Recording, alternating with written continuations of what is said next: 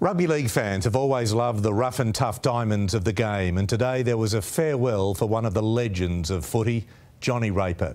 A big crowd with big memories gathered at the place which figured highly in his stellar career. Flanked by six of his eight brothers, Johnny Raper arrives at the SCG, a hallowed name on hallowed ground. A showman, the great footballer would have been pleased to see who turned up, to hear former PM John Howard say, Thank you, Johnny. Uh, you have done well, mate. You have thrilled many lovers of the game of rugby league, but more broadly, you have left behind a legacy of a remarkable Australian sporting character. In storied successes on field and infamous excesses off it, the Raper name cut both ways.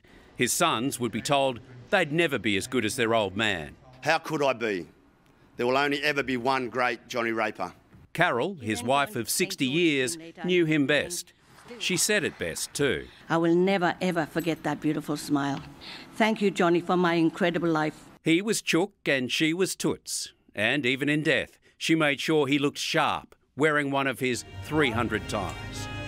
John William Raper's final journey began like so many of his famous adventures in the arms of friends, surrounded by people who loved and revered a charismatic, phenomenal man.